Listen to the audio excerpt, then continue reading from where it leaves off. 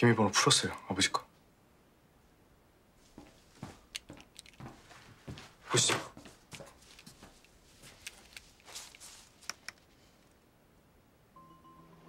극장 자주 오세요? 자주는 아니고 가끔 집사람이랑 아들이랑 같이 옵니다. 전무님은? 저희를 여기로 부른 이유가 뭡니까? 전무님 성격이 급하시네. 아 이번에 그쪽 회사 가습기 살균제 아무래도 두 분이 안고 가셔야 될 것 같아서.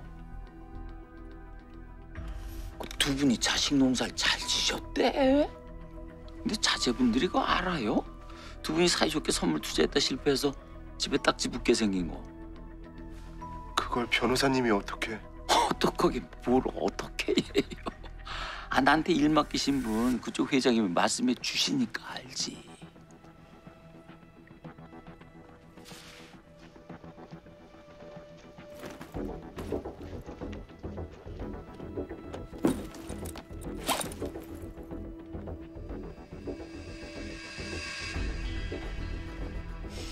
두 분께 그 좋은 기회니까 좋은 선택을 해보세요.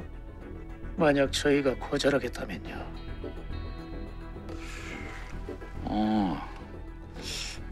그것까진 생각을 안 해봤는데 아마 다른 사람을 구하겠죠. 책임질 누군가는 필요하니까.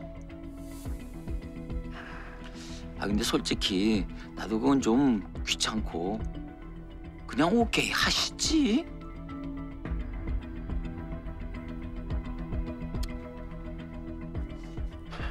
죄송합니다. 이건 아닌 것 같습니다. 짓지도 않은 죄로 감옥에 갈 수는 없습니다. 능력 없는 애비가 될지언정 비겁한 애비가 되고 싶진 않습니다.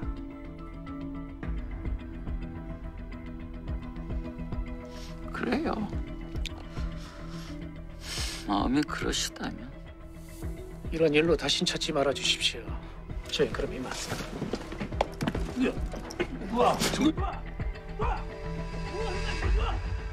뭐야 이게 뭐야? 또라고! 또 집어! 또와! 또!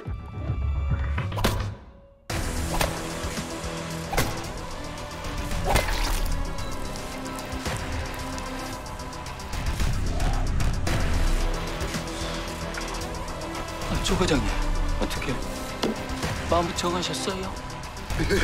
예, 정했습니다.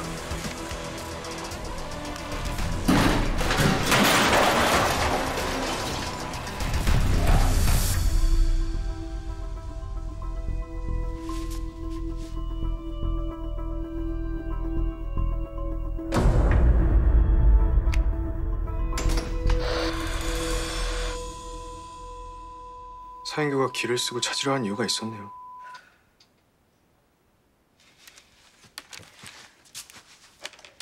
김 검사. 네? 너 빠져. 이거 처음부터 내 사건이었어. MP3 나한테 넘기고 너 손 떼. 같이 하기로 얘기 끝.